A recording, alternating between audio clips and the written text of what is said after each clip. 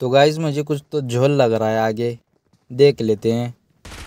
ए पुष्पा दो लोगों के बीच में क्यों आ रहा है तू? रुक मेरा बॉयफ्रेंड आ रहा है।